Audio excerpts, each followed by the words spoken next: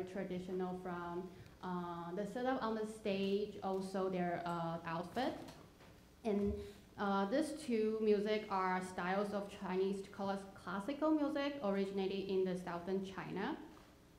And then we will take a very big jump to the time after World War II. So next. Um, so that's the time where Taiwan, uh, Taiwanese people start developing uh, their original art. So we have Taiwanese opera and glove puppetry. So these two type of arts, they are very entertaining and commercial. So uh, because of its, um, the plot can be very flexible. So instead of telling story from a historical aspect, they can tell something that you will see now on, on television, like uh, soap opera. And then we, uh, next one.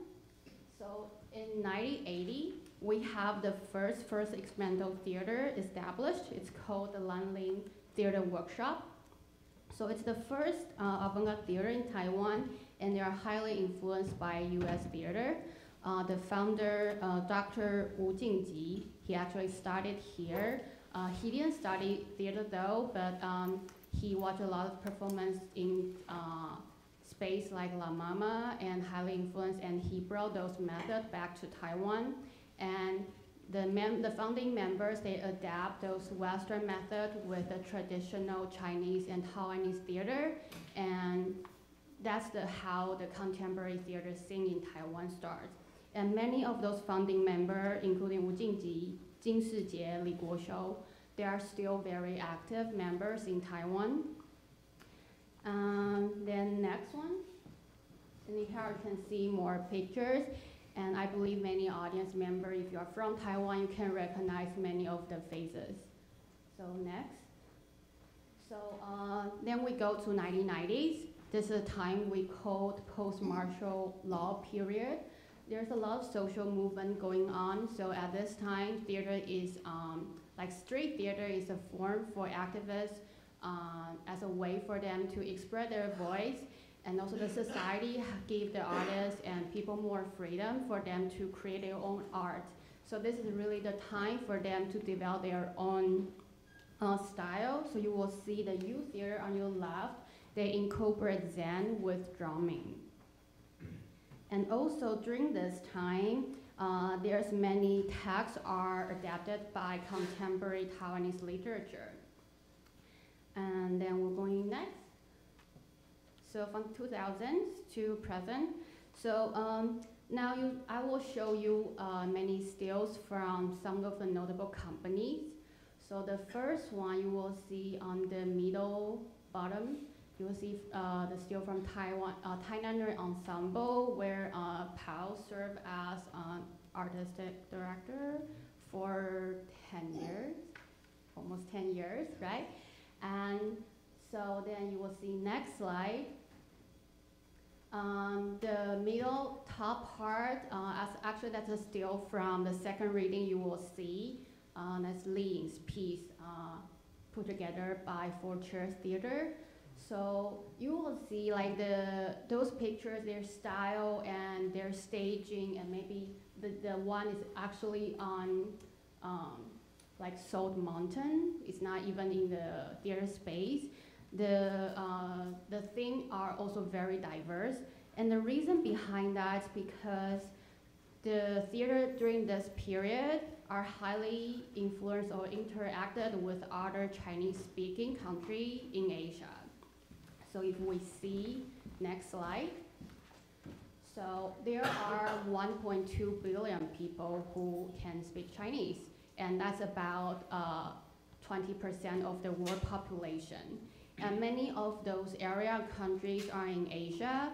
And so for places like mainland China, Hong Kong, Macau, Singapore, Malaysia, and except mainland China, Taiwan has many uh, and close interaction and relationship with other areas because of the cultural and political um, orientation. And this kind of uh, mobility give uh, it's really what makes Taiwan theater distinguished from the theater in mainland China, but even both spaces um, use man, man, like use mainly Mandarin to create their work. And so um, I heard from, I have a brief conversation with the playwrights the other day. They also mentioned that actually many people from Macau, Singapore, or uh, Malaysia, they come to Taiwan for work or for study. They end up staying here or vice versa. So this kind of exchange really brings um, different aspects and different uh, viewpoint to the theater in Taiwan. And then if you have, if you want to see more like current contemporary theater scene in Taiwan, um, of course you will see that from the reading, the, the uh, reading later. Also this Friday, uh, one of the reading uh, the possible memoir of a traitor. The full show will be screened uh, at the Taipei Cultural Center at 6.30. And next, I want to show you some uh, theater spaces in Taiwan. So first, I'm going to show you uh, uh, spaces on the national level. So I'm going to show you three. They are both uh, funded and managed by central government. So we have this in Taipei. Next one in Taichung, and the uh, exterior is designed by the Japanese, very famous Japanese architect. And then the, the third one is this one in Kaohsiung. And then later, next we will see some other private run uh, theater. So next, so we have, I'm going to just show you a little bit and the reason why I chose them just simply because I used to go there when I, when I was still based in Taipei. So we have Cloudgate Theater, uh, Guling Street Avant-Garde Theater. Next, uh, we have uh, Huashan Creative Park and Wenshan Theater is actually a community center. And also Zhongshan Ho and Crown Art Center Theater. And unfortunately, they closed business because they cannot keep the uh, current regulation as a theater. So those are the venues. And then the next one, next thing I want to tell you is about how common or how theater going as a uh, leisure activity for Taiwanese people. So um, we spend about like 25 billion in total per year on all the cultural and creative industry. And then uh, on, under them, performing arts industry makes up 566 million dollars. And next. So we only have about like 23 million um, population. Um, here in the States, you guys, like, not you guys, but like here they have uh, 325 million. So just so you know the difference. Uh, but the cultural events Taiwan put up every year is, uh, is more than 60,000. And then the cultural event attendance per year is over 27 million. So basically, after you do the math, um, it's very common for Taiwanese people to see a theater or go to a cultural event every month, and then they, the, uh, they don't mind to spend a little bit on the, um, on the ticket. And then next one. So that's a really brief overview. If you have more questions, definitely bring them up uh, during the panel. And now I'd like to introduce you to our uh, first playwright of the day, Bo Zhang, and he's going to take the stage and perform to you sololy. Thank you.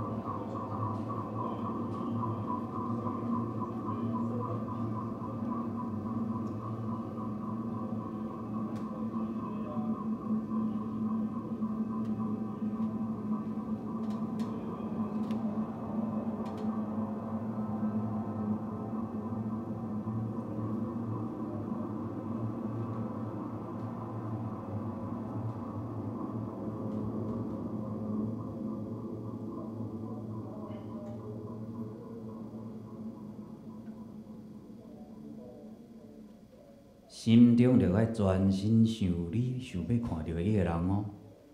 啊，可能吼会有别人吼挖过来向你讲话，啊，若是小鬼吼，你着爱注意哈。啊无吼，你个魂魄哦，是放留伫阴间哦。啊，我是要安怎知影伊是毋是小鬼啊？你着出问题甲问啊。即个问题的答案吼，只有你甲伊知影。安尼敢有了解？哦，有。敢有看到？无呢，啥物拢无看到啊？感觉一下，我手摸的即个所在，看即点，敢有看到光线？无呢，啥物光线？有一点仔吼，亲像是透早拄啊起床的时阵吼，咧看日出。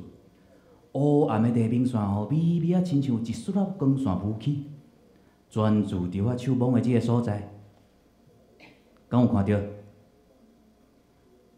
像迄有，敢若亲像无呢？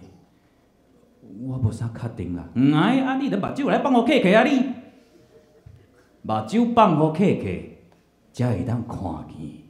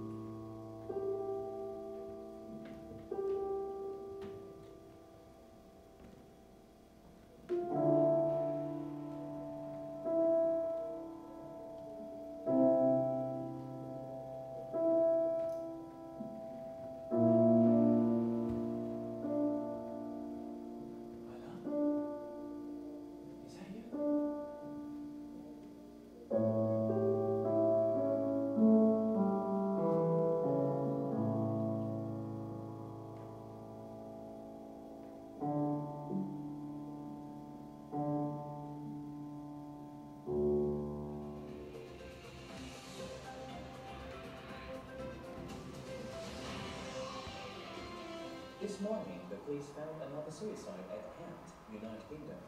Sandra Mormon, 43 years old, is suspected of ending her life after breaking up with her AI assistant, Owen Andrews. According to the latest report, she shot herself around 8 p.m. after her last conversation with Owen. According to the police, this is the ninth suicide for love within a month. Owen seems to have an affair with Amanda Sony, based in Berlin.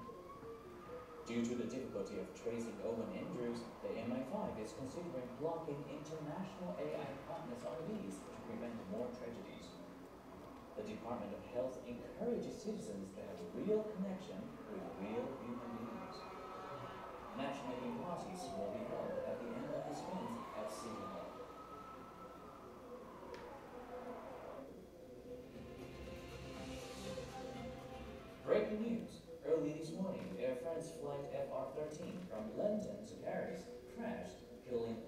149 passengers on board. Air France is trying to contact the families of the victims.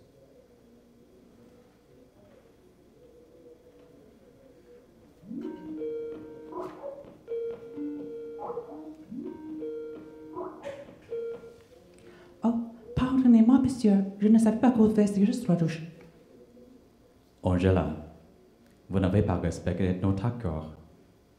J'en suis conscient, monsieur, mais c'est important. What's so important? Oh, and didn't I tell you that? When Mr. Minard is away, you can always talk to me in English or Chinese. Don't you remember? I'll keep that in mind, sir. I just don't understand, right? Why he's so obsessed with touring. I mean, interacting with real people, live. Sounds so 2020s, don't you think? Sir, are you ready for the news? Look at you, all serious. It had better be important.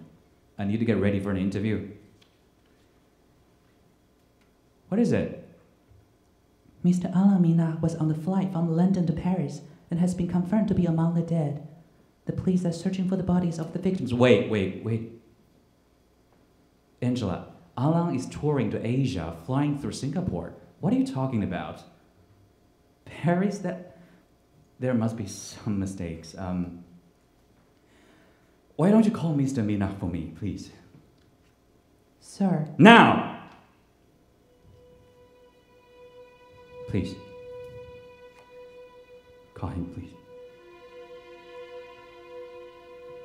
I'm deeply sorry, sir. So far, we haven't heard anything about Mr. Minard's body. Would you like me to continue? Just call him. Please, just, uh, please. Sir. Sir, I would like to make sure if you're feeling alright. Would you like me to cancel your meeting?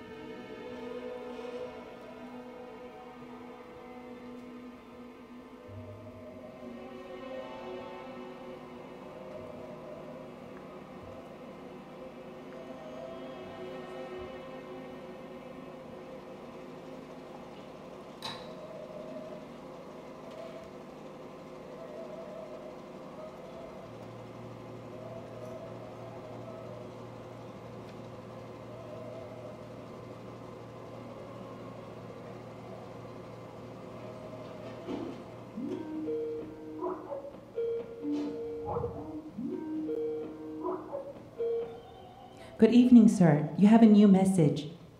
我现在没有心情，那你要我何时再通知您呢？一小时后、明天还是其他时间？都没有差。嗯，其实有差哦，因为您的优先订单已经抵达，然后您有特别指示，当货品抵达时要第一时间通知您。已经到了。我我要怎么启动它？所以您想想看这个货品吗？我刚才不是已经讲了吗？到底有没有在听啊？有点心好不好？拜托你，Angela。我只想要确定您的情绪是否在一个稳定的状态。 Angela，有屁快放！您的心跳每分钟超过一百二十二次，已经超过一般正常范围，已为您搜寻合适的药物。 Angela，Angela，stop！I have no time for this bullshit, okay? Show me Allah, please. If you insist, sir. However, may I remind you, he's not Allah. It's just a machine. Here are the instructions before you activate it. Well, simplify for me, please.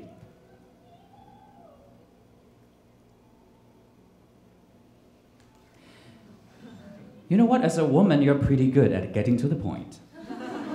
I'll take that as a compliment, sir. Why do you think I chose a woman as my personal assistant in the first place? Because guys distract you too much. I'll take that as a compliment too. So, you've transferred all the info from Alan to that machine, haven't you? Everything but an encrypted folder authorized only by Mr. Minard. A folder? What's in it? It wouldn't be called encrypted if I know what's in it. Fair enough. I'll respect Alan's privacy.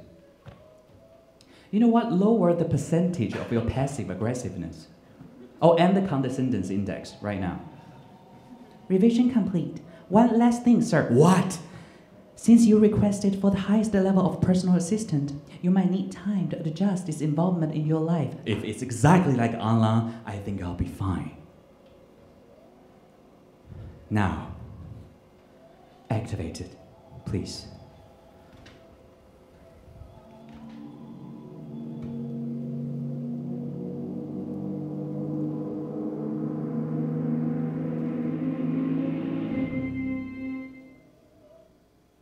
Bonsoir, monsieur.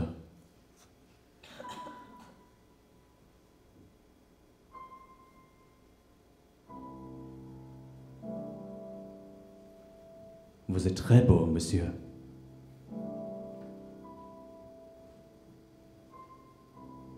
Alain? Oui, c'est moi, monsieur. Ne me parlez pas comme ça.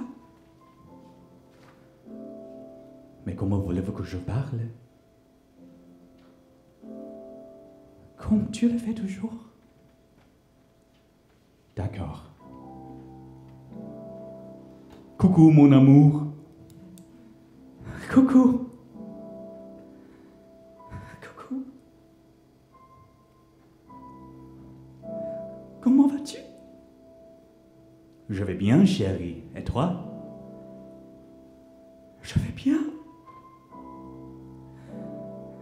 Très bien, mais... Je ne pourrais pas aller mieux. Ah, 甘霖老师，你跟我安装。 Et depuis quand tu parles taïwanais Oh oui, bien sûr. Tu n'es que... Est-ce que ça fait mal Ne pleure pas. Tu me manques. Toi aussi, tu me manques. Où es-tu? Je suis là. Vraiment? Oui, je suis là. Oh, c'est mon pieu préféré. Oui. Je l'ai acheté à Nice. Ton anniversaire? Mais il a vraiment beaucoup rétréci. Mais tu as pris du poids aussi. Je n'aurais pas dû le laver. Alain, était-ce douloureux? Que veux-tu dire? L'accident Était-ce douloureux?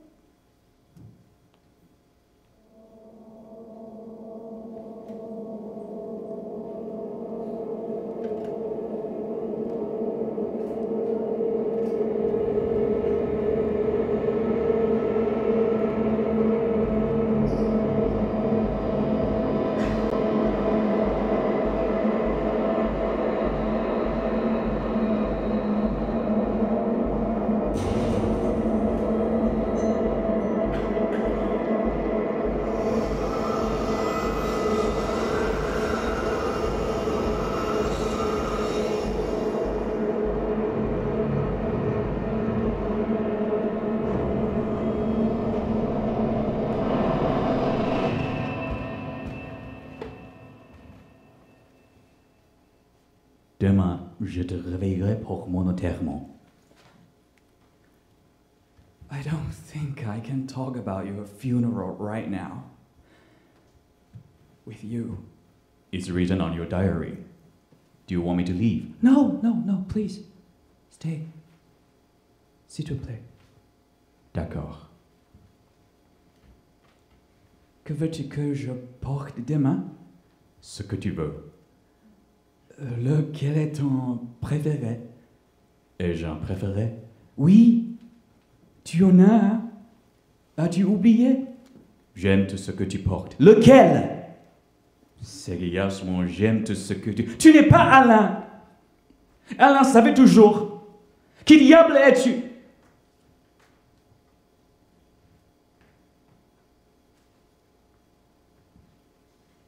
Porte ce que tu veux, sauf le pantalon à l'envers.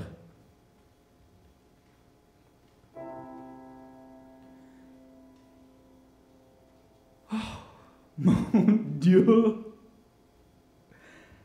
Je n'avais pas vu ces photos depuis des années. Nous étions si jeunes et heureux. Te rappelles-tu de ce que ma mère t'a dit quand tu t'as vu la première fois? Comment je pourrais oublier? J'ai des amis qui vivent dans le. Elle est adorable. Et des suspects. Oui. Tu sais que tu es la première personne que j'ai jamais préférée à part Formelia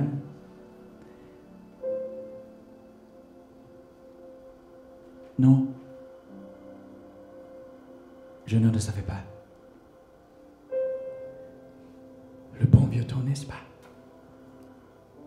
Ouais. Je suis désolé. Pourquoi? Je ne voulais pas douter de toi. Je ne comprends pas. Nous avons su ces disputes avant ton voyage. Sur quoi? Pourquoi es-tu loin alors que notre anniversaire arrive bientôt? Tu pars beaucoup en déplacement. Pourquoi ne pourrais-je pas t'accompagner? Je n'arrive pas à croire que notre dernière conversation eût été désagréable. Je suis vraiment stupide. Hey, je suis ici. Je suis ton Alain. Je t'aime. Tu te rappelles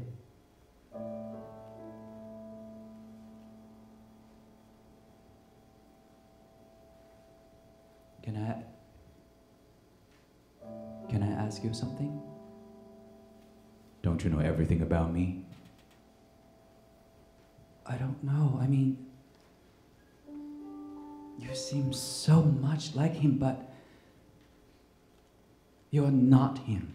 I'm the closest result you could get towards Alan. And I'll never say I love you.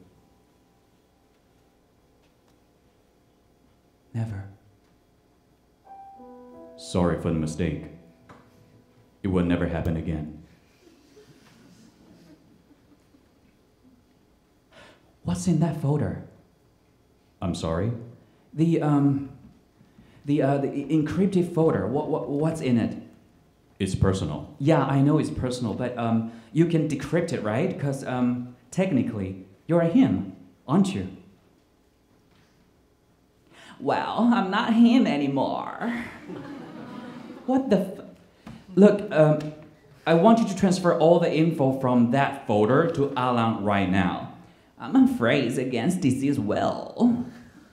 I'm sure it's okay. We've been together for nine years. We talked about everything. Well, obviously. hey, what does that supposed to mean? Just being honest.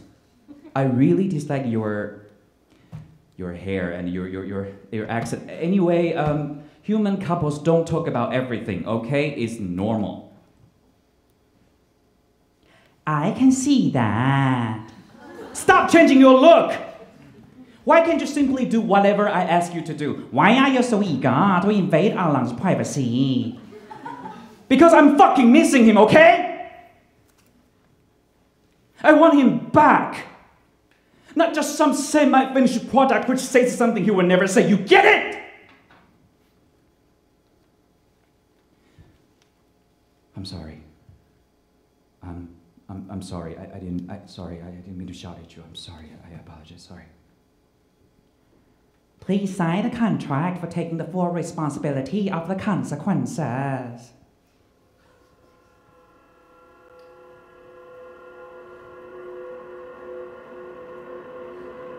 Good luck, sir.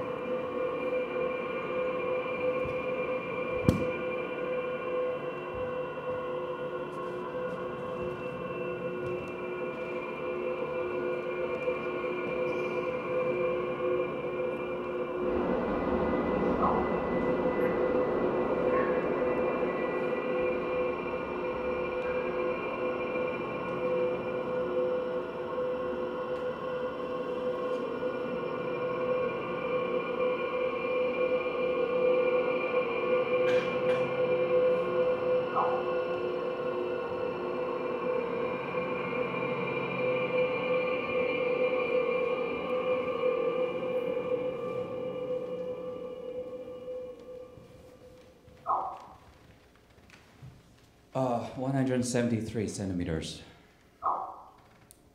Uh, 77 kilos. So wait, wait, wait, wait, 73. Yeah, that sounds better, yes.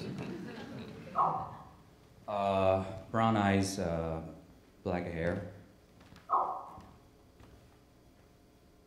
Asian. A Taiwanese living in London. Uh, wait, wait, wait! One at a time, please. Um, I'm into um, twins, jocks. Some daddies are hot. Um, between 30s and 45, I can't really talk to young people anymore. Um, what's next? Uh, I don't care.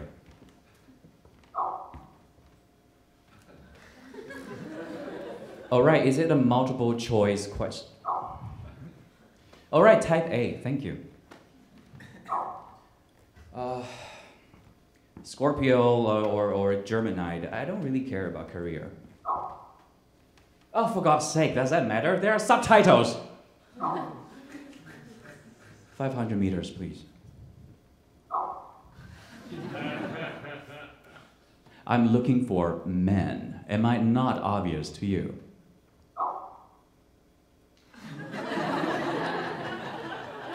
I am sorry. I am very open-minded. It's, well, all right, whatever. Um, okay. Um, system, let's talk to Hatter first. Hello, how are you? Um, upload photo, thank you. Um, not much, just, um, just look around. You? Well, fair enough. Um, I'm Asian, what do you think?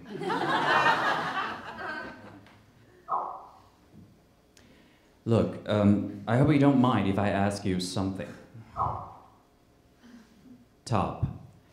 So, why Asian are supposed to be bottomed? Uh, do you, uh, whatever. Do you know someone named Alamina?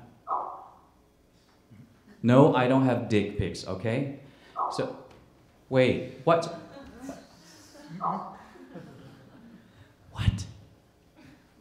Seriously? Uh, wait, uh, system. That that's um, let's talk to to to Deepa and upload photo first. Thank you. Uh, hi, how are you?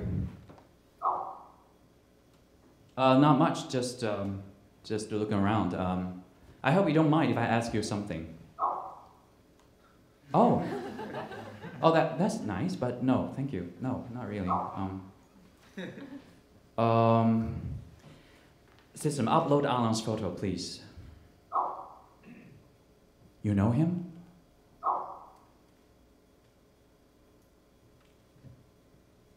In your place?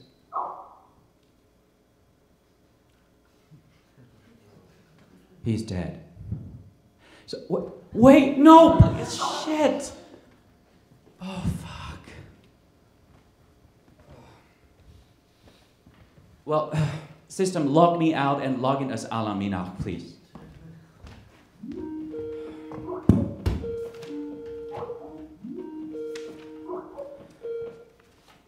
Sir, are you sure you're going to do this? Why not? It's not moral. Are we talking about morality here? Isn't it funny? Look, I um I don't know why I want to know, but I I um I, I, I don't I, I, I don't know. Are you jealous of these men? It's none of your business, okay? Look, I really need to do this. Please. Good luck, sir.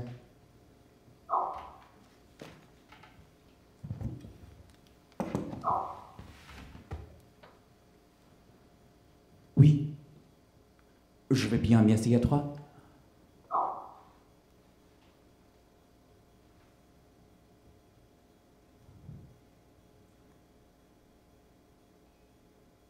How do you think of me?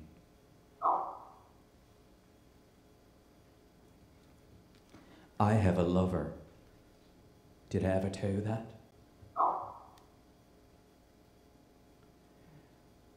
I am okay. I'm sorry. I'm just um, too too much stress. Um, um, well, uh, not not very well, and um, need um, more time. It's it's it's not easy, you know. No, he's been very considerate. Um, I mean, he, he should have told me about you. I, I, I mean, I, I, I, I should have talked about you. Um,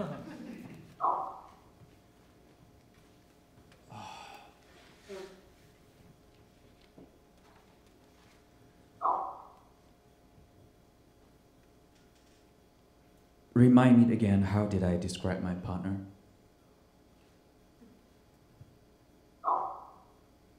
That's it? Nothing more?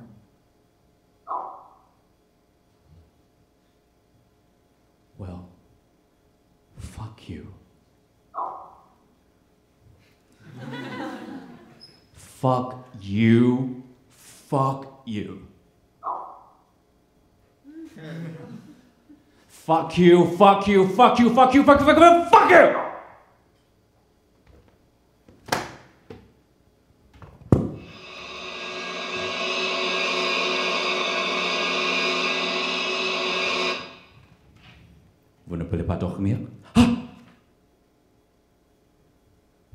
You scared me. Sorry. What bothers you? Nothing. Such a bad liar. Oh, yeah, not as good as you are, obviously. What do you mean? I... Nothing. Can we stop this nothing game? Stefan! Ring the bell? I guess we're doing this right now, huh? Why not? You you plan to have this conversation anyway. Yes, I've been I've been seeing Stefan for two years. He lives in Berlin. We first met at a gig in, in, in London. He, he's a vocalist. Do you love him? Oh wow, I guess that pause said it all. You're being too dramatic. You ruin it, admit it. That's not fair, Nian. I'm afraid I cannot agree with you. What are you doing? Over the past three years, you've sent messages to 576 men. 1,211 contains photos, 143 of them with nudity. The rate of a verbal agreement for hookups reached 23%. According to your sex archive, you even met Stefan one time. Have I? I don't make mistakes. Anyway! I can't even believe. You got into my private data? You chose to activate the highest level of the trust between us. That's how I know all your accounts and passwords and so on. Besides, you invaded my privacy first. Oh, your privacy? Your privacy? You know what? This is getting ridiculous. Having sex with men you don't even know the names isn't ridiculous? Are we doing this again? Why are you so obsessed with names? None of them is going to be your friend. You do know that, right? Who said that I need friends? You need real affection. Oh, don't, don't, don't lecture me. Besides, what do you know about real then? Oh, right, I forgot that you are just a machine. You are the one who is programmed to be a sex machine. Isn't that what open relationship is all about? Then why are you making such a fuss about Stefan? Because I don't fucking love any of those men, okay? They, they are just sex, but but you love Stefan. I can feel that. And that hurts me. That doesn't make you any better than me, Nian. You think me watching you having anonymous sex with men doesn't hurt? Please stop it. Why don't you believe I'm capable of loving more than one person at the same time? Please stop it. I know you couldn't take it. That's why I didn't tell you about Stefan. Nian, there are different forms of love. We shouldn't have to be exclusive. I'll leave you to it. Alain, why we are so unhappy? Isn't being with someone you love supposed to be happy? We're never happy. We can never be happy. We only want to be happy.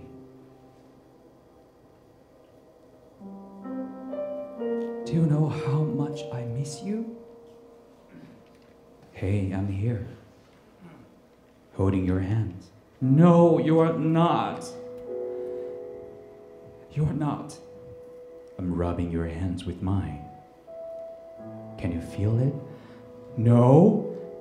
No, I can't. Oh, I, I can't do this anymore. I, I can't. I, I really, I can't. Don't be afraid. Close your eyes. Lay your head in my arms. Are you closing your eyes? Hmm. Can you feel me? Don't know. Uh, I'm not sure. Your hands are getting warmer, aren't they? Yes. They are. I'm kissing your forehead, your cheek,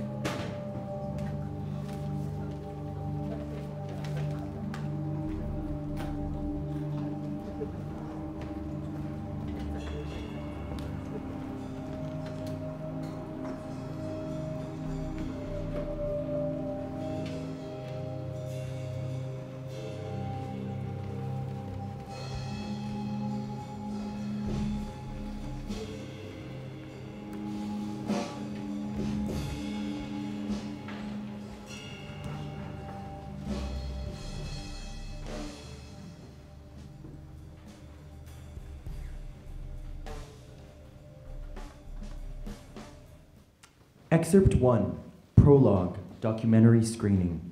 All actors are on stage. The actor playing Junfan comes downstage.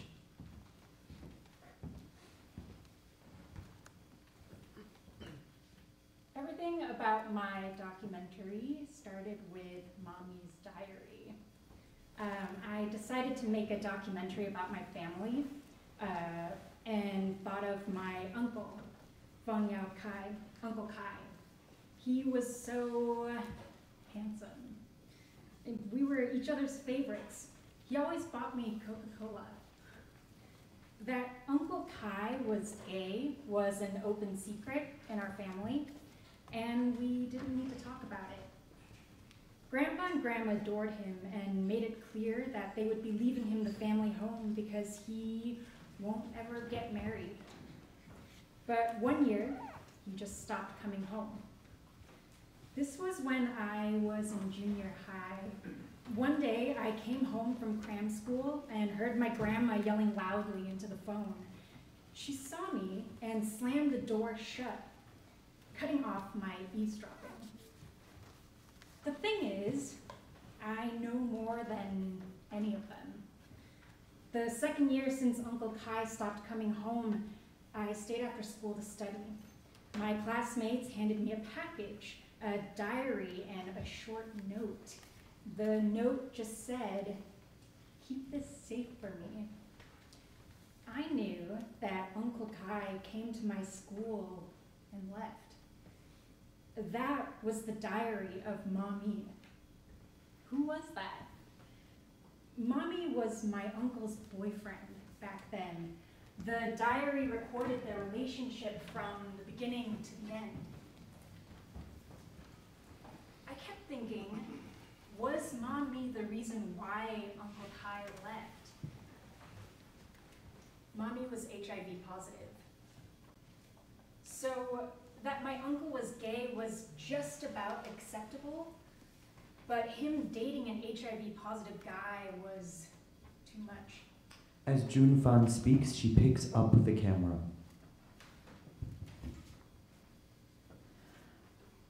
With the contact pages in the back of the diary, I started cold calling people, one after another. Most of them were no longer reachable, but of those I could find, most agreed to be interviewed. Thanks to them, this documentary was able to come together. In the process, I've been trying to answer this question Why would you want to document this particular story? Why did my uncle suddenly break up with mommy? Excerpt 2 Interlude The Ones Not in Contact. Why do you want to do it? A few of those people asked me that.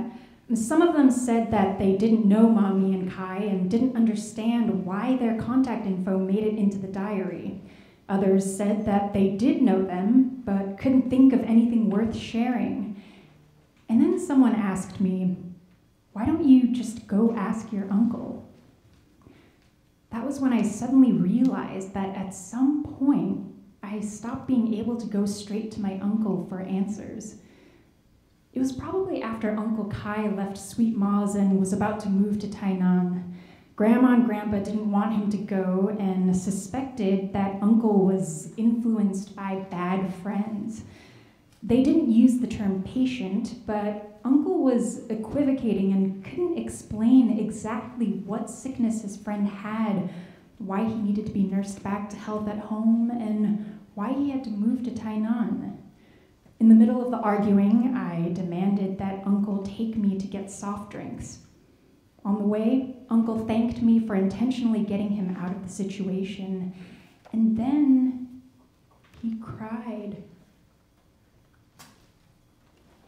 I know that he cried, but I didn't ask him anything.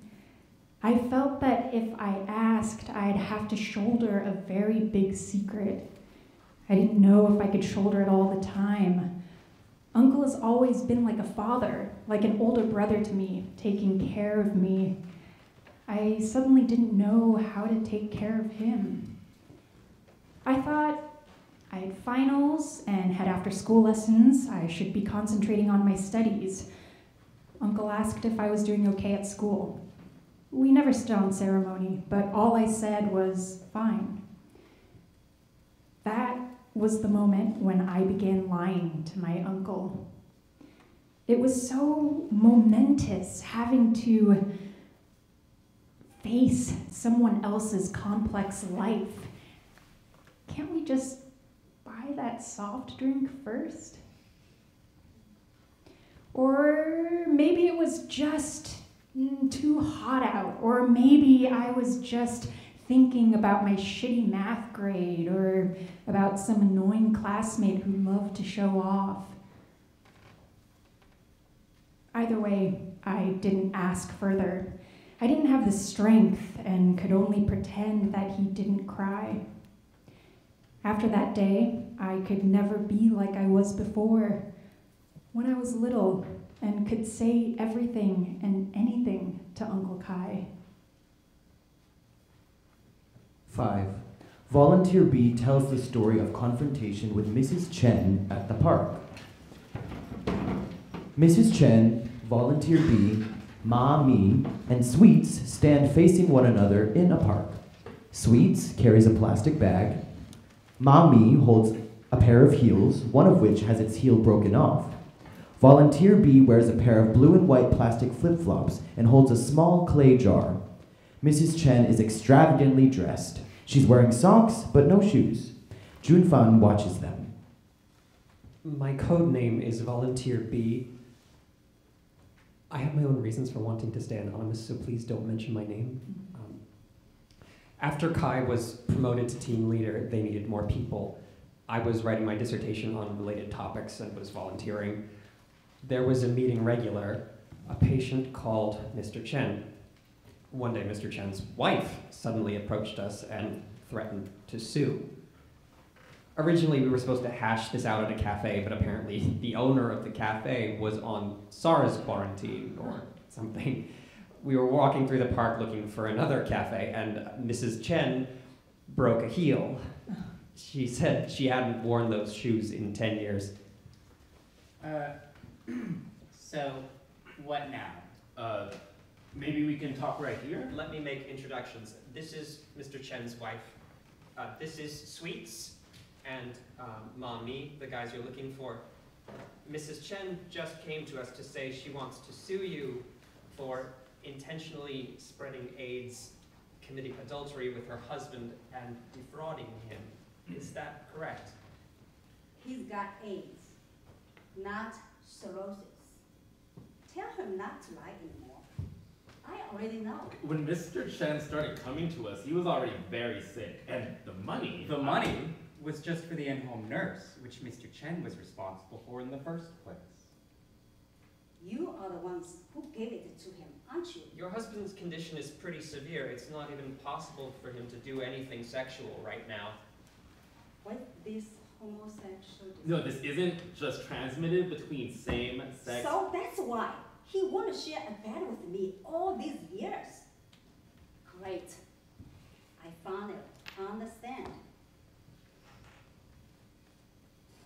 This phone was foolproof of this sweet person hooking up and throwing sex parties even when he got AIDS. I'll take it to the press. What is she doing with your backup phone? I lent it to Mr. Chen. Did you ask someone to bareback? If we made arrangements ahead of time, sure. Fuck, what do you think you're doing? Can I borrow that? Volunteer B hands over the clay jar he is carrying. Mrs. Chen sits on the jar. You see my heels breaking, and I don't even know to find me a place to sit down? Really? What is this thing? Just some radishes I pickled. I'm taking these home. The white jade radish from Maine is best for pickled radish. I'll make a note of that next time. Next time, I don't even want to see you again. Not even in my ne- next life. A ball rolls by. A passerby. Hey, could you get that for me? All four look towards the ball. Mommy goes to pick it up. Mommy had a lot of problems with Sweets at that time. He thought Sweets was making trouble for everyone, in, everyone involved by indulging in his own selfish desires. The passerby finally gets the ball back. Thank you. He exits. My husband said that he got infected by cutting other people's hair. Is that true? I don't know how he got infected, but it's impossible to be infected by hair cutting. So he's just a gay? So what if he is? Or isn't? I want to sue you. Oh. Five hundred thousand new Taiwan dollar for emotional damages. Who knows if you gave it to my husband? Don't provoke. What if she goes to the police with my text messages? So, what would that do? Let's get a compromise with her, or I'll be in trouble. Compromise. How? Just go with the original theory and say that Mr. Chen got it by cutting hair. Or you could have kept your dick in your pants for once in your life. Mrs. Chen, can I borrow that phone for just a second? Is my husband gay? I don't know. Then why did he come to you? And to you, his little boyfriend? We just met him at the hospital. He's gay, isn't he? Oh, why wouldn't he share my bag? Please stay calm. Mr. Chen's illness has nothing to do with these two. Oh, yeah? Then I dare you test your virus. My lawyer said he can test your virus and see if he, it's the same as my husband's. Then they can tell if you give it to him. Do they test it? Don't worry. I'm always suspected that he was a homo. People congratulate me for marrying such a handsome, sophisticated husband. But they don't know how bad he is in the bed. During the conversation, a few people have started doing Tai Chi in the park. I didn't know until later that all she wanted was to prove that her husband was gay. That way, she has an excuse for why her husband wasn't interested in her sexually, why they had separate bedrooms. But even if that's so, it doesn't mean Mr. Chen was gay. When I said this to Mami, he didn't want to hear it. He was really mad at Sweets. So you want to compromise with this woman? It's not the first time this happened. There, there was someone I dated who threatened to go public with my condition if I tried to break up with him. Wow, really? Yeah, if you're sick, you're an easy target for bullies, especially our kind of sickness. Why have I never been threatened? Why is it always you? Isn't it because you're doing unethical things? What did you say? Tai Chi students. Uh, excuse me, we have group training here at this time. Can you move over to the side a little bit? So should I carry you over there? I can do it too. I'll walk. I don't want you creasing up on my outfit. It's very expensive. Auntie, do you always go out all dressed up and pretty like that? I hardly even meet strangers. I'm not going to lose you in style. Of course. I need to dress up nice, even when you think I'm a crazy lady. I want to be a beautiful crazy lady. if you can tell that I look good in this outfit, you probably not, right? Volunteer B clumsily tries to help Mrs. Chen up. We'll go put this in the compost pile first. I helped Mrs. Chen over to a pagoda in the park, and Mommy called Mr. Chen at the hospital, trying to figure things out. Mr. Chen couldn't speak for more than a few sentences without losing his breath, but he begged on the phone. Mr. Chen, please uh, help me lie, lie to her. I, I have kids and family. I can't embarrass them like that.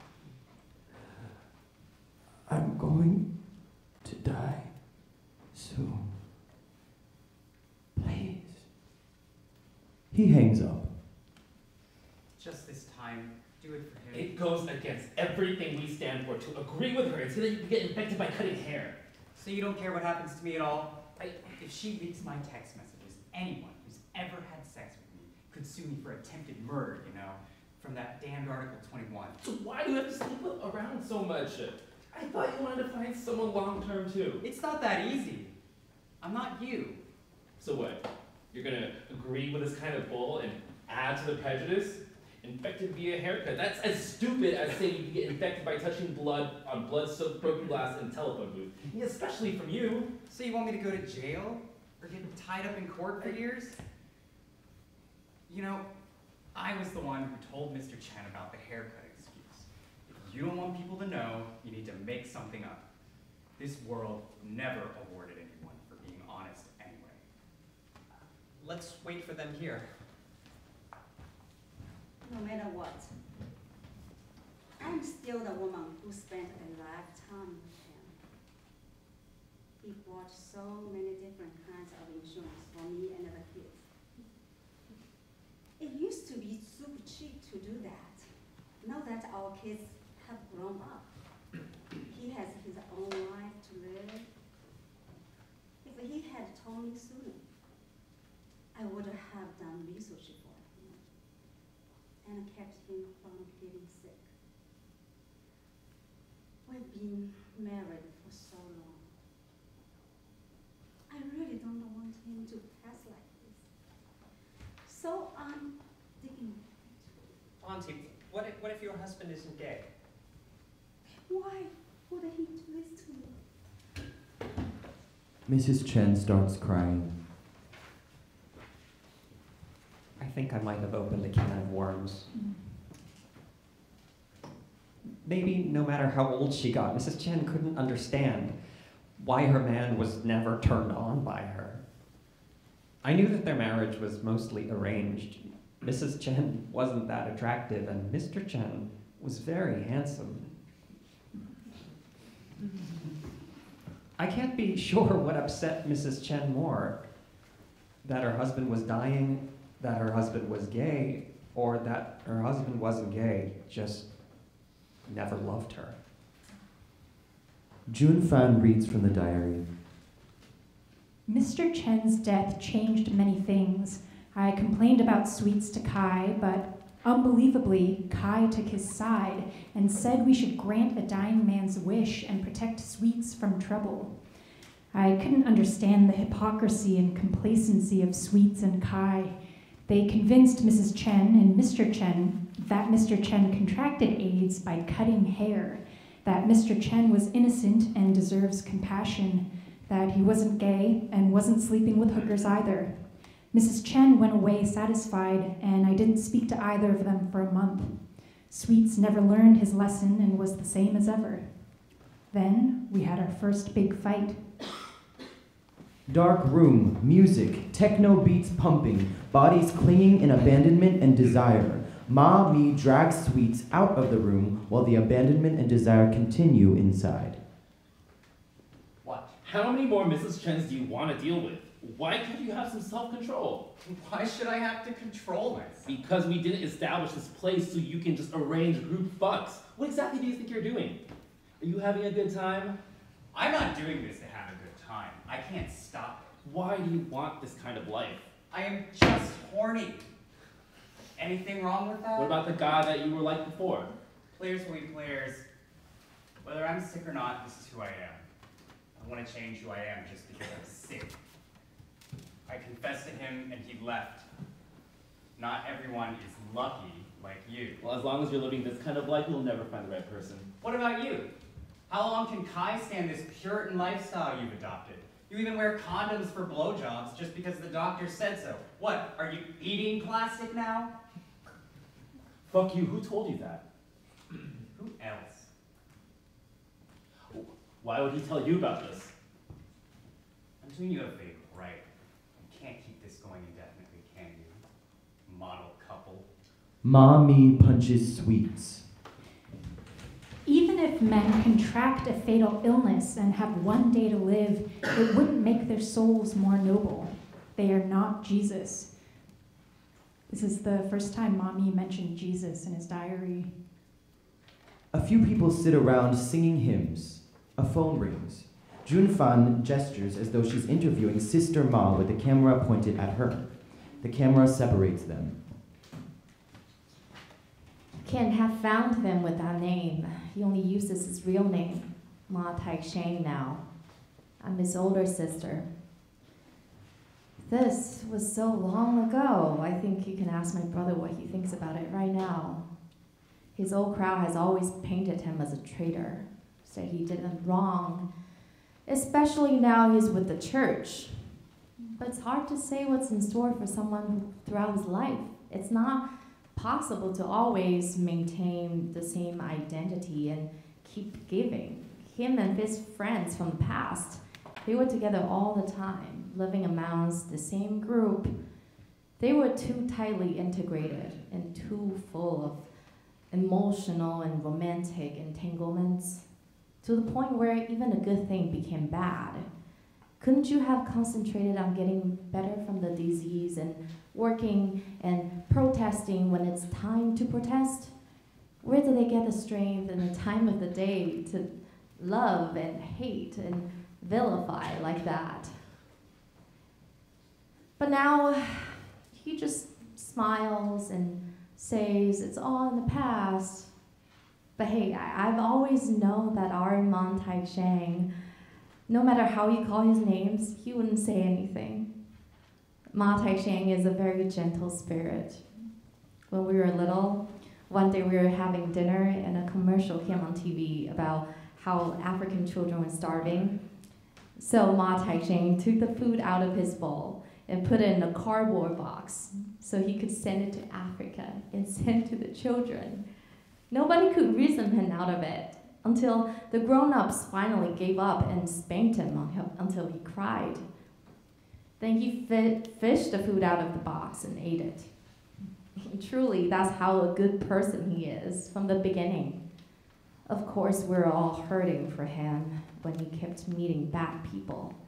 Your uncle had good manners at least, but the first one, the one gave it to him, that one was such scum.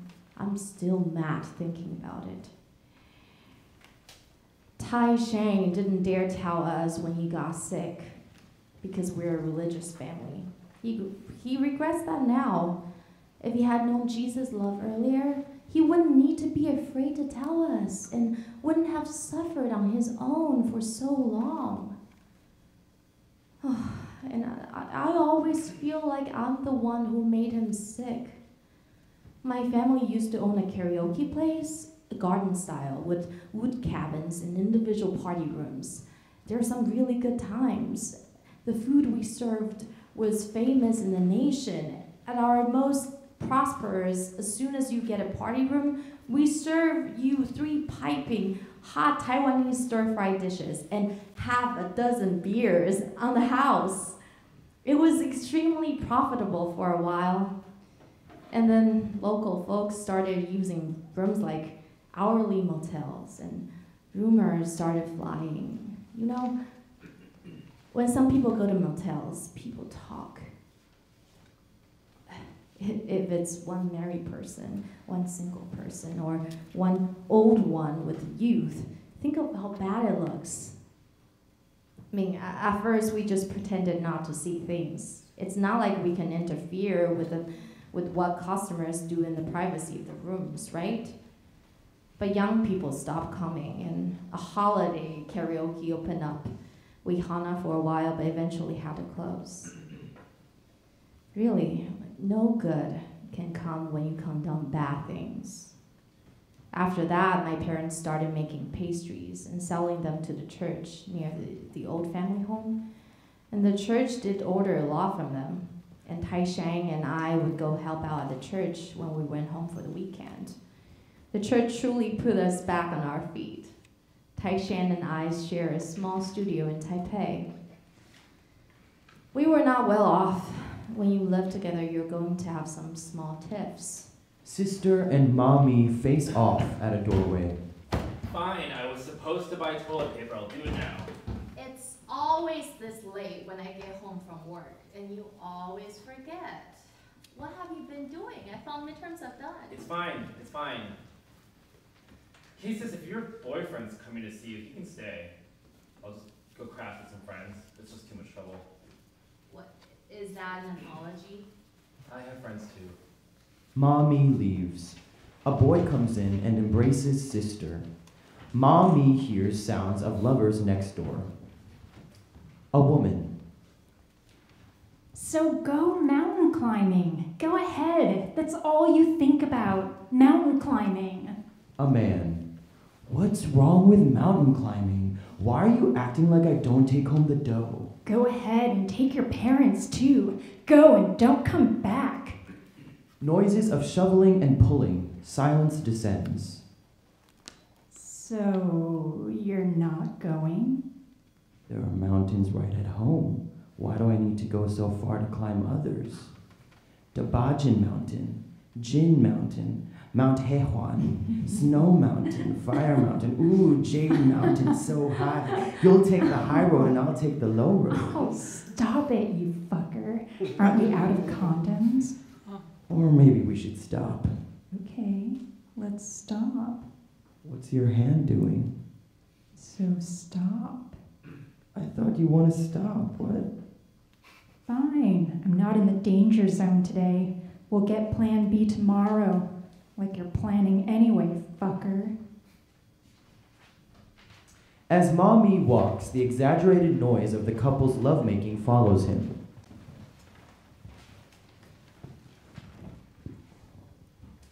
I think I was the one that got my brother sick. You see, if the holiday karaoke didn't open a branch in our town, and the family business didn't close, I wouldn't have needed to squeeze in that studio with him, and Tai Shing wouldn't have gone to stay with his friends and known that guy. Hey, don't tell him I say these things. He'll only get upset if you ask him. You just say he didn't feel so beaten down at first. It's me talking about it that makes him feel like he's in a bad situation. I am so glad he's back on the right track now. It's, it's not like we disagree with people being gay.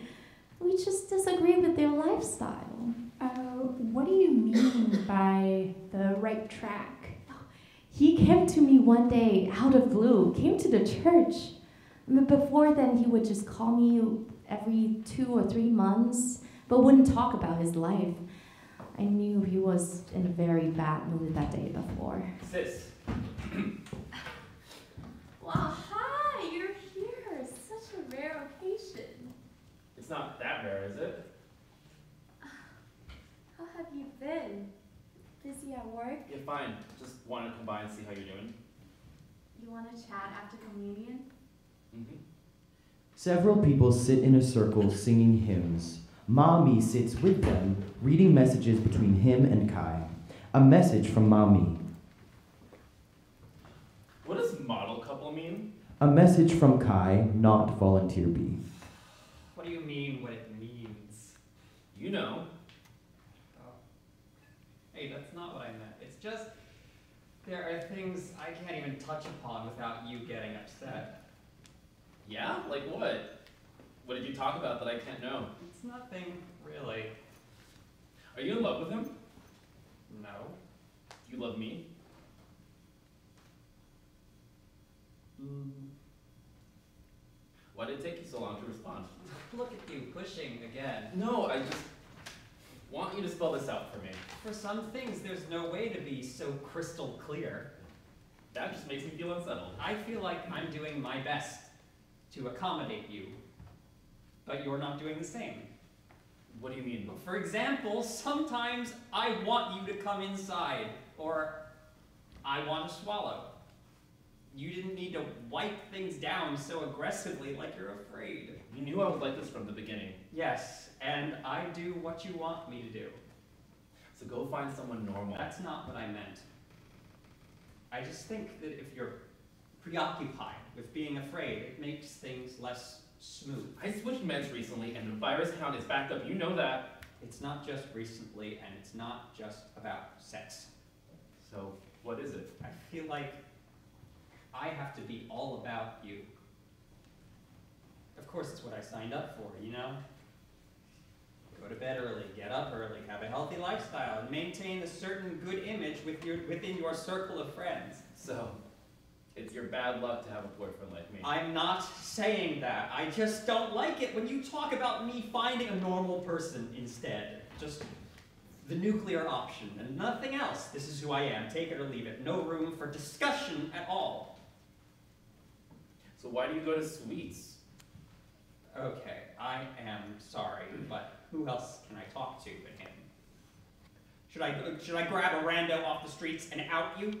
Okay, you want to talk? Let's talk. You like hanging out with him? That's not it. What is it then?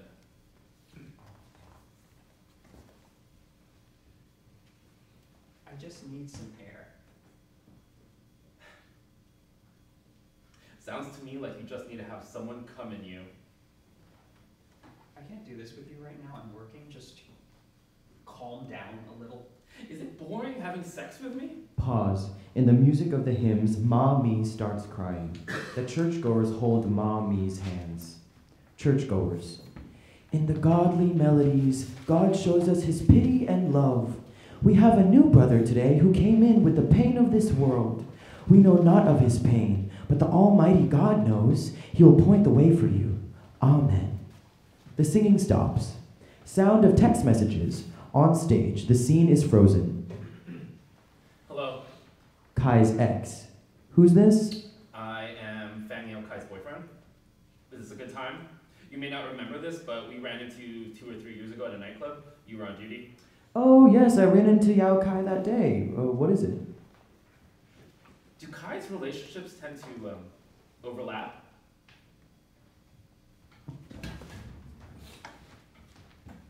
Why is it so easy for regular people to stay together for the rest of their lives? And so hard for gay people? Why must they have so much sex? Is it for uh, to prove their popularity? I think Ma Tai Taixing was just interested in loving one person and being with him. Well, I'll never understand these things. I have a feeling being in that circle brought him a lot of pain. I try to make it up to him as much as I can, since he was so distant for such a long time. Anyway. Uh, but what if gay people and patients can be like others and not seen differently when they fall in love, get married, break up, and get sick? Maybe things between my uncle and Uncle Ma would have been different. Uh, it's just something I was thinking about. I haven't talked to my uncle about it or anything. I don't know. I can only consider things from my brother's point of view. My brother didn't do anyone wrong. And just because he has the same sickness as these people doesn't mean he has to be around them forever. You know how when someone is hurt, especially relationship wise, they get out of control from time to time and he's lost all his friends because of it. He's learned his lesson. But there's one thing I have to ask you about.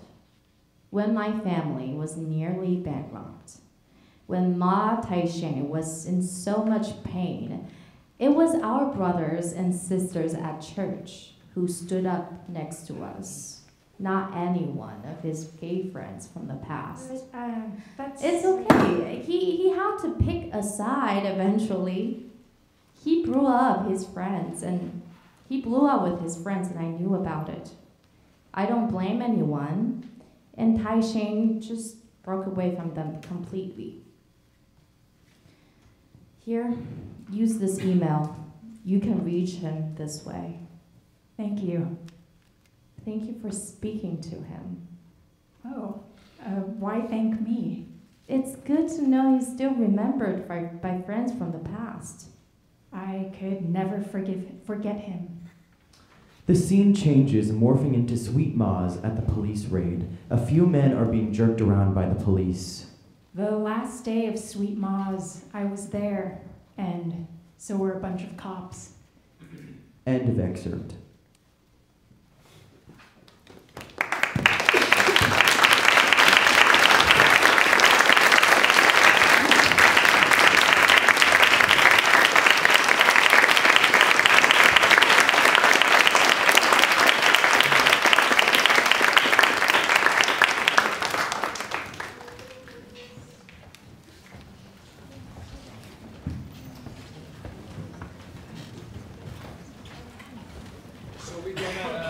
right away to the panel in case you know you have to go or have another place to go. This is a good time now, so don't or thrilled that you came.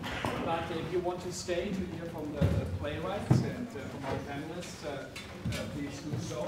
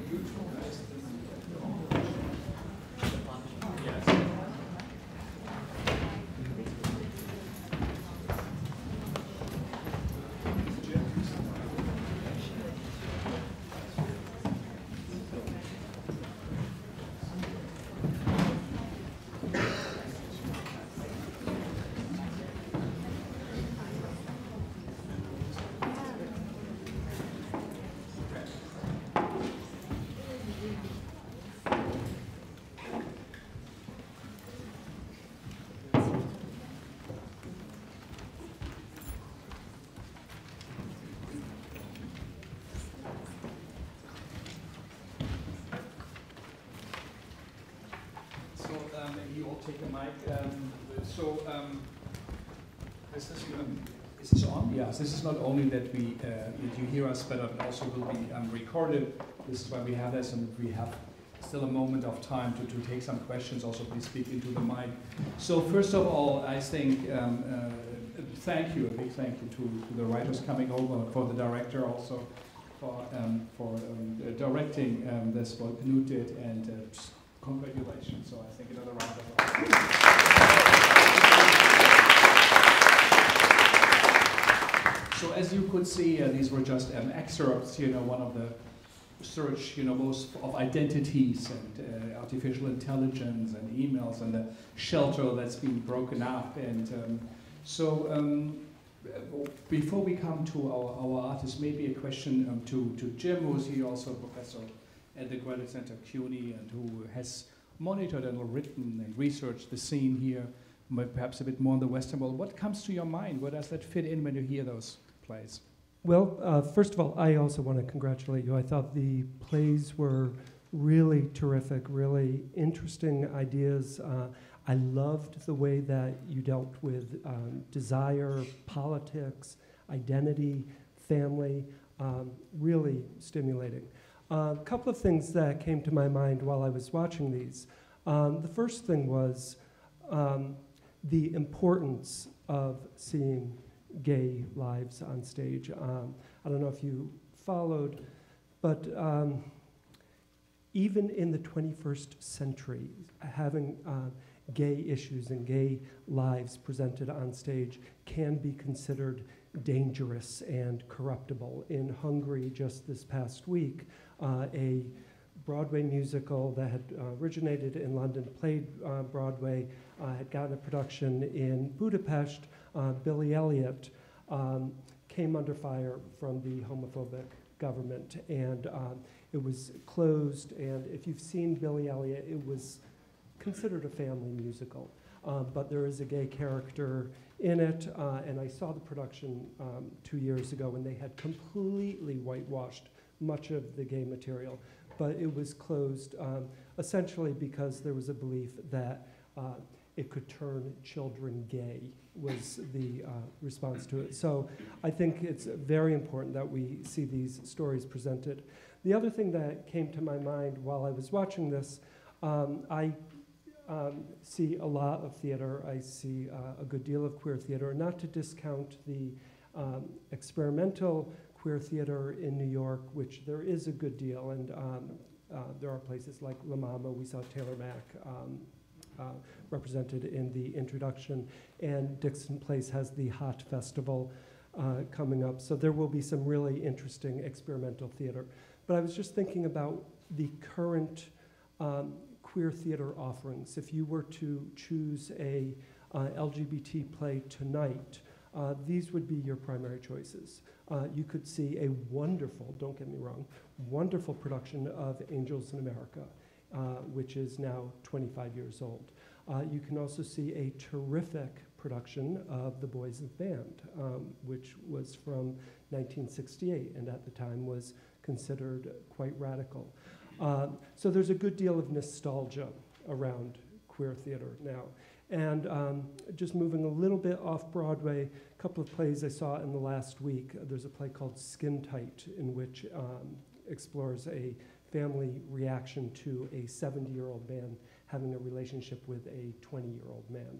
Uh, and there's a play that opened last night called Log Cabin, uh, which looks at some of the contemporary issues of um, what it means to be gay or lesbian in 2018 after the marriage laws have passed. Uh, one of the things that I also want to point out, I won't take any more time, um, these are all by uh, white men, uh, which I think is uh, pretty typical. Um, so I applaud Taiwan for these wonderful progressive politics, but don't let your theater become boring as it has become here in terms of our queer theater. So uh, I will end with that just to uh, say, as I, um, as I mentioned earlier, that it was really just very exciting to see this stimulating work that really challenges us in ways I don't think uh, gay theater is at this point. Yeah, thank you. And for sure, it is uh, not boring and uh, very uh, contemporary. Um, maybe, uh, Li-Ying, tell us a bit how, how, do, how does it feel to hear an excerpt from your uh, work about the shelter that was closed? And how does it feel to hear it here on stage?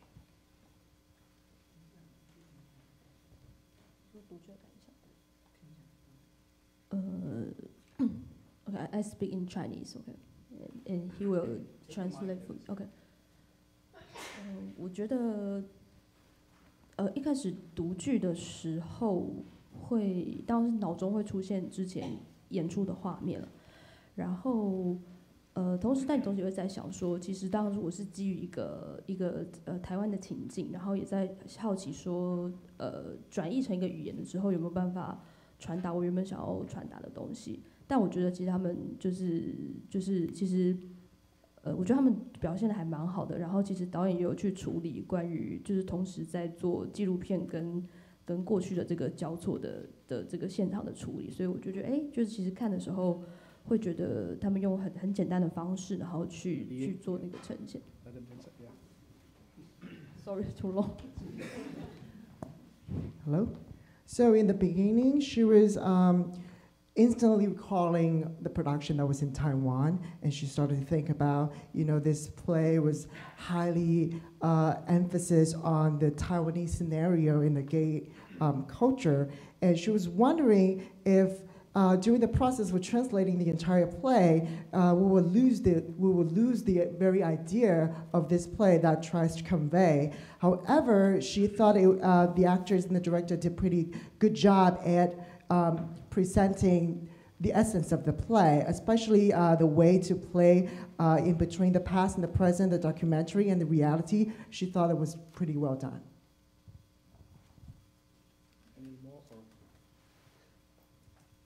然后，然后呃，然后因为就是就自己觉得说，刚好受纽文的这个邀请来做一个读剧是非常非常怎么说，是对我来说是一件很有意义的事情。呃，因为因为这个这个剧本跟这个演出是是那个是拿到两厅院的赞助的一个一个田野调查的计划。然后原本一开始的构想是，呃，因为大家知道戏剧界只要是做艾滋的，很难不受美国天使的影响。一开始的目目的也是想要做台湾版的美国天使。但是因为我访问的人其实都还活着，所以就是他们都还没死，所以我想说，那那我就舍不得把他们写死了，所以就是就是会做有这个演出也是好好奇于说，就是因为我有因为我的朋友是相依伴侣，就是他跟有感染的人交往，然后然后就是但他但他可以给他父母看的影视的作品，就是都是。大家都都是会死的人，这样可能是可能是平常心，或者是美国天使。Let him translate it. Okay. So, and then um, he, she felt very honored to be invited by the Taipei Culture Center to present this stage reading. She thought it was very meaningful, uh, mainly because uh, the very first production in Taiwan was fully funded by the government, the National Theater. Um, so she then talks about the concept of writing this play. Uh, at first, she was thinking about maybe she can did something that was pretty much like uh, Angels in America, because in Taiwanese theater, we, are high, we, were, we have been highly influenced by the American theater. So she was thinking about maybe she should do that. However, uh, when she was doing a lot of research on this production, she was thinking, well, these people are still alive. These people that are affected are still alive. I, uh, she doesn't want to write a story about an AIDS patient being dead. So she instead chose to focus on this production and then create this production. And then she also talked about her friend who, who is actually dating an HIV positive uh, partner. And she, she said that according to his friend, he actually had a hard time choosing what kind of TV shows or what kind of um, performing arts to show to his parents because a lot of times, like the show Normal Heart or in Angels in America, we oftentimes talk about the death that was caused by uh, AIDS. Thank you. So maybe we um, um, we come back to you later. So we go to um, Pao-Chang and um, how did how did it feel for you to perform your work?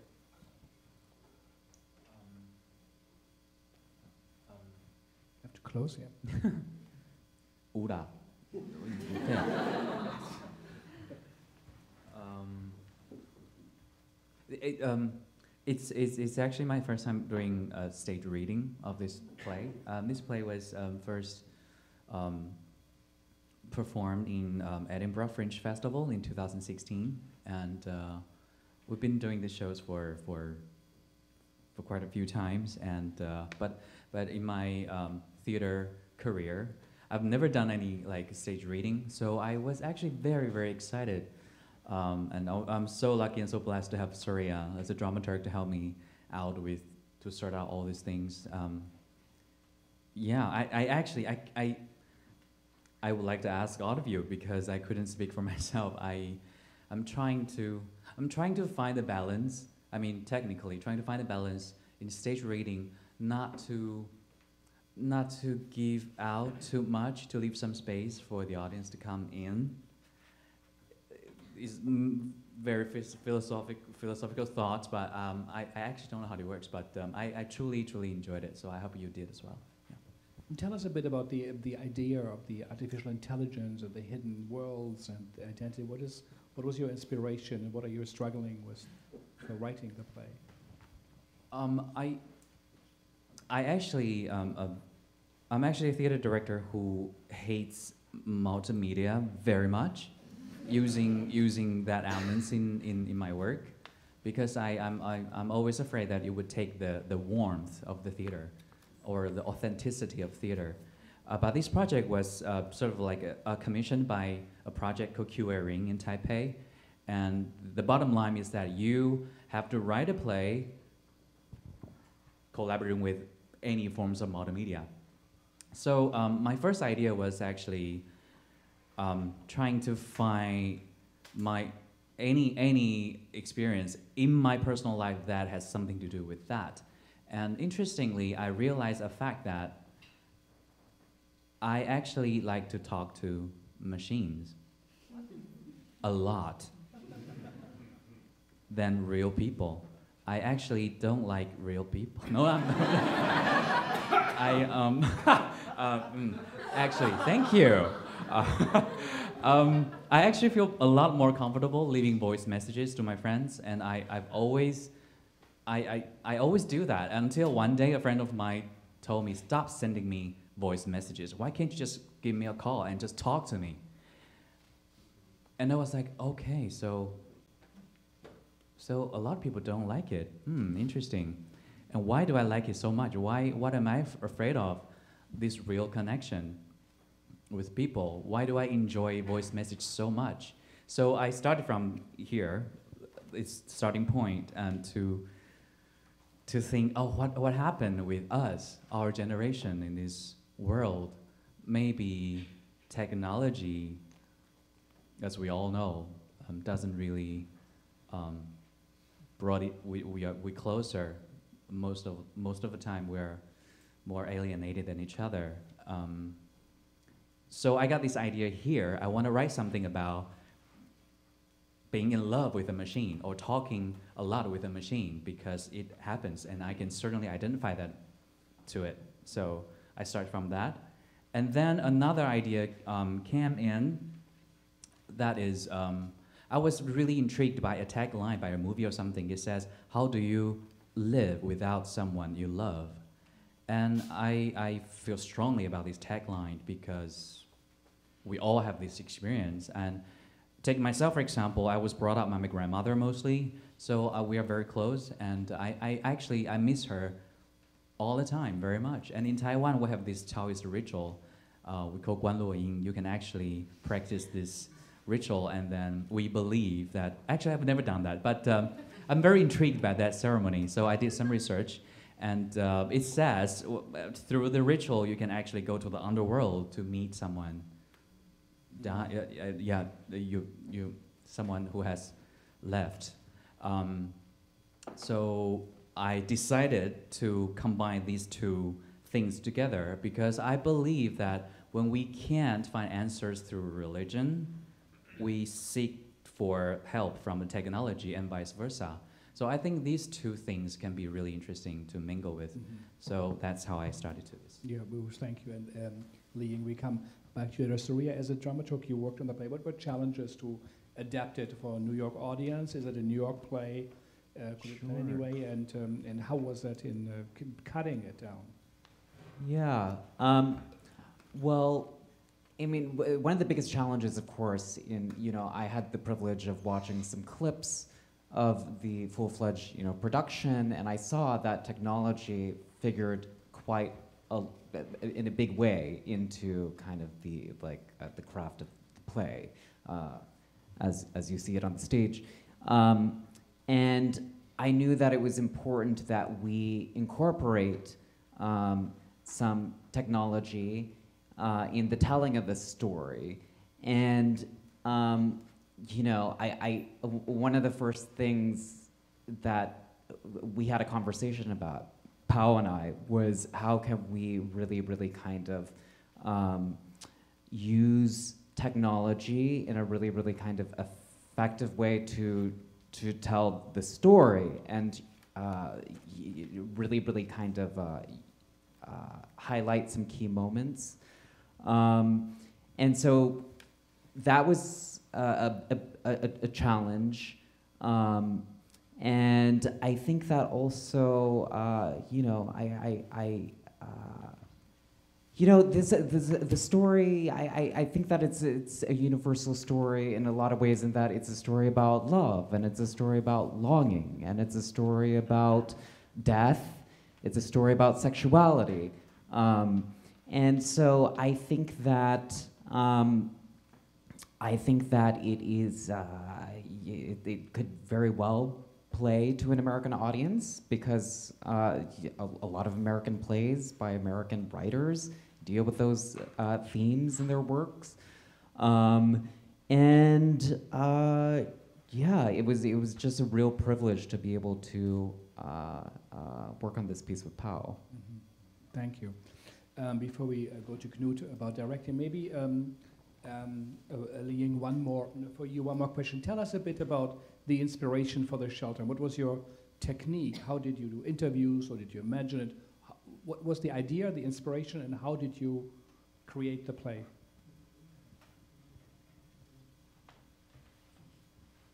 呃，呃，我的就因为我是访谈很多人，所以他就是他是其实是一个一个访谈的形式，然后就这这变成他是在拍拍纪录片， 然后他同时因为他拍拍纪录片，因为我们演出现场是有用那个现场的投影，所以其实纪录片这个形式也可以不断穿梭过去跟现在，因为它的场景跟时间跨度有点大，基本上集中在九零年代末到零零年初期的台北，呃，对，然后呃，你先翻好了。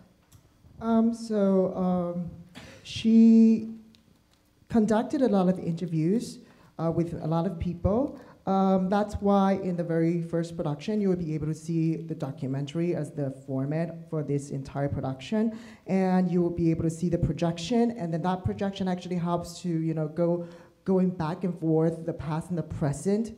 Um, and the story is actually uh, starting from late 1990s to early uh, 2000s. 然后呃，因为他，但因为他其实谈论的是自呃，比方说你自己对自己的回忆，嗯、就你自己认为重要的事情，或许别人已经认为不重要了。就是基本上，因为我们的回忆并不是一个非常非常确定的事情，所以呃，然后就因为是要去谈一个每个人这个人可能会去回避的一个过去，所以是使用一个这样纪录片的一个形式。我其实我我本来是要说这个结构是是从一个一个秘秘鲁的小说家来的，但我我觉得你可能不知道怎么翻那个小说家，我想就算了。嗯，是一个呃一个零九年的诺贝尔得主，他叫那他叫略萨，因为我也不知道他的名字怎么讲。对，可能有有知道有看过他吗？秘鲁的小说家略萨。OK，好，没关系。好，你说。So um, she wants to um, talk about how one person recollects his memory uh, through this production. Oftentimes, when we try to recall our own memories, uh, we will recall something that can be very important to us, but not necessarily to other people. And oftentimes, we also avoid certain things. And that is why she adapted this idea of using the documentary. And she was also taking, talking about the inspiration from, in terms of the structure of the entire production, she was talking about the inspiration from a Peru- Peruvian novelist who won uh, the Nobel Prize in year 2009. And we don't know how to translate his name, unfortunately. Vargas Llosa, yeah. Thank you. Yeah, thank you so much. Um, and uh, Knud, what were the challenges um, in, in directing, uh, immorally asking to do a 30 minutes anyway, but um, so how did you see the work? Uh, it was it was the challenge. I think was for me what I do um, year round is as I uh, as a director of new work here in the city. Uh, I work hand in hand with playwrights, and they're almost always in the room with me, and we're sort of exploring together. And and this was a, a fun challenge in that it was. Um, I felt like I felt like there were several acts of translation happening where uh, you know, the, the play newly translated to English, me selecting uh, an excerpt of that play is a, a sort of an act of uh, translation or, or a, a lens of editing. Uh, and then, yeah, and then working with uh, actors for, for a brief four hours today, trying to um, interpret it or, or give it a little, a little uh, life, a little suggestion of what, of what the play promises in production. Uh, and then finally, the, the reading format itself, a play reading, is, is already a sort of a, a, a transformation of um, media and of expression and, and trying to hint at the, the fullness of the play, which is, um, uh, has, a, has a media component, has a, has a really uh, vast canopy of, of a canvas of characters, of, of realities in and out of time. It's, it's ambitious and, and sprawling and um, has a great size of story. So, so trying to trying to capture that fullness of, of narrative through these various steps of translation with um, actors who were kind enough to give their time today was was a fun challenge for me. Thank you, and I think you know we got a fe- got a feeling for that place where that all happened. Um, um, so um, you, uh, you, Jon, you uh, a, a part of comparative literature world. Um, how does this literature we heard, other words, how do how do they compare um, to to to um, to adaptation, to translation, and is it successful? um, compare these two plays I think um, from Pao's solo day to it somehow speak to uh, Lin's work, the possible memoir of Mami, um, because they both touch on certain kind of issue on adaptation and also translation, transcultural, transcultural media, and also this kind of transmedia uh, interplay. You you see this kind of idea when Pao Pao's work is obviously for translation. He has this idea of a global audience in mind. So you can see he play with different kind of mediums and languages. He switched between four different uh, four different languages: Taiwanese.